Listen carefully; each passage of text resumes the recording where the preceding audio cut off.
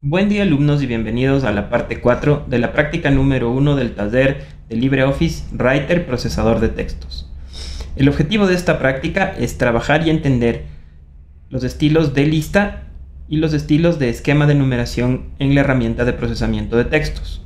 Para el desarrollo de esta práctica necesitaremos un nuevo archivo de prueba, el cual se encuentra cargado en la sección descargas de su curso. Deben identificarlo por su nombre es listas-numeradas.odt. Cuando abrimos el archivo nos podemos percatar que el mismo contiene dos ejemplos. El primero de listas numeradas sencillas y el segundo de esquemas de numeración. Vamos a proceder con el primer ejemplo. Recuerden entonces que una lista numerada es aquella que me permite generar un nivel o una numeración en una lista de características de un texto automáticamente, es decir, sin irla colocando una por una. Para ello, lo que debo hacer es seleccionar con el botón izquierdo del mouse presionado la lista que deseo numerar y de estas opciones que se encuentran en, la, segunda, en, el segundo, en la segunda barra de herramientas, puedo seleccionar activar o activar la numeración. Dando clic en la lista desplegable que se encuentra en la derecha, vamos a obtener diferentes tipos de numeración y seleccionando uno de, una de ellas podemos aplicar esta numeración a la lista a la cual hemos seleccionado. Para este ejemplo voy a utilizar los números seguidos por un punto y un espacio. Como pueden darse cuenta, la herramienta diferencia entre una, entre una numeración y otra como un enter o un espacio en blanco o un salto de línea. Si es que yo doy un enter después de la palabra diciembre, voy a ver que se genera un espacio en blanco y que la numeración se ha modificado. Es decir, enero que antes estaba en la tercera posición, fue bajado a la cuarta y en la tercera posición se encuentra un espacio en blanco. Si es que deseo borrar la numeración, puedo presionar la tecla de suprimir dos veces para que el espacio se recorra hacia arriba. Para continuar con el ejemplo, voy a modificar el tipo de numeración para que vean cómo se generan los cambios en el párrafo seleccionado. Esta vez voy a seleccionar los números romanos en minúsculas. Una de las funcionalidades más requeridas cuando se está haciendo uso de los estilos de numeración o los estilos de lista es seccionar el párrafo seleccionado y diferenciar la numeración entre un espacio y otro. A continuación vamos a ejemplificar esto en la segunda parte del primer ejemplo. Voy a suponer que necesito que exista otro tipo de lista entre los meses de junio y julio.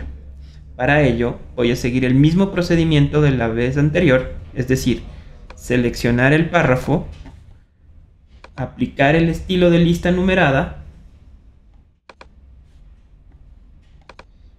Y ahora lo que voy a hacer es proceder a presionar la tecla Enter o salto de línea dos veces, una, dos, para que la herramienta automáticamente entienda que entre que cuando se presionaron dos enters va a existir un nuevo encabezado de lista. Redactaré el nuevo, el nuevo encabezado como los meses de vacaciones en la sierra son. Y ahora puedo verificar que tengo o que continúo con la lista numerada a partir de los meses de julio, agosto y septiembre. Si yo deseo reiniciar la numeración a partir del mes de julio, es decir, diferenciar la una lista numerada de la otra, lo que debo hacer es situarme sobre el número 3, que corresponde a julio, con el cursor, dar clic derecho y del menú desplegable que se ve en la pantalla, voy a seleccionar la opción Reiniciar numeración. Fíjense entonces que a partir del mes de julio la numeración se ha reiniciado y tengo como número 1 al mes de julio y como el número 3 al mes de septiembre. A continuación, vamos a trabajar con esquemas de numeración. En el segundo ejemplo de esta práctica, tenemos algo como que simula una prueba de opción múltiple. La idea de trabajar con esquemas de numeración es llevar un cierto nivel de orden en los subniveles de cada una de las etiquetas. Para ello, voy a seleccionar la primera pregunta y sobre esto y a este párrafo le voy a aplicar un esquema de numeración. la primera mecanismo o la primera forma de aplicar un esquema de numeración es ir a la misma ventana que fuimos en el ejemplo anterior, pero dar clic en la opción más numeración. Si se fijan, esta opción hace que se despliegue la ventana de numeración y viñetas, la cual contiene varias pestañas. En la pestaña Esquema se listan una gran cantidad de esquemas numerados. Para este ejemplo vamos a hacer uso del segundo esquema de numeración que nos permite un numeral y un subsecuente de letras del alfabeto minúsculas iniciando por la A. Doy clic en esta opción y presiono en el botón aceptar.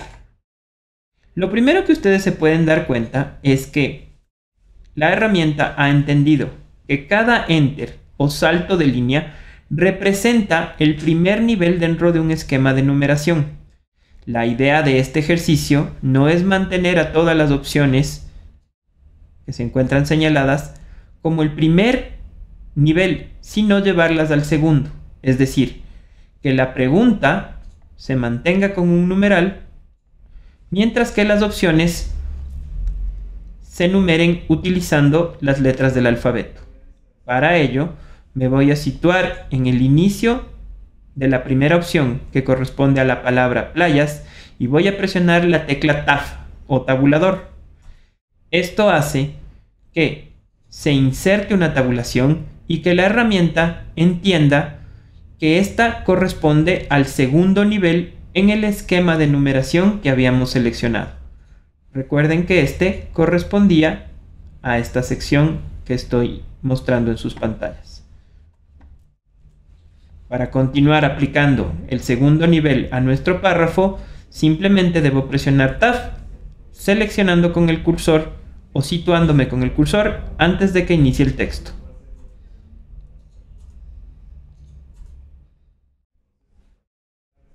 Finalmente, si es que nosotros presionamos más de un tab, nos vamos a fijar que el esquema de numeración cambia a un bullet point, o más conocido como viñeta.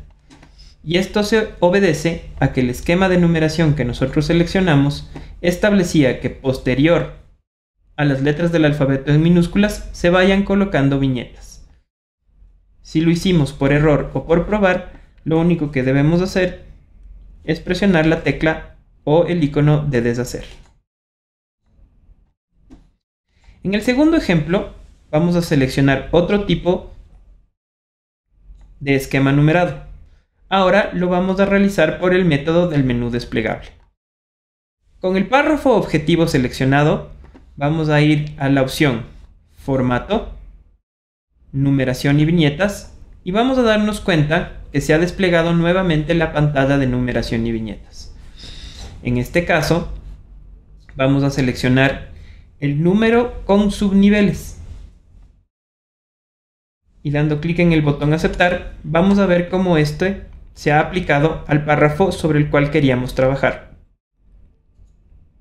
Al igual que hicimos en el ejemplo anterior, si presionamos una letra TAF con el cursor delante de la palabra Quito, vamos a ver cómo las opciones adquieren el segundo subnivel, es decir, se pone un punto y una siguiente numeración.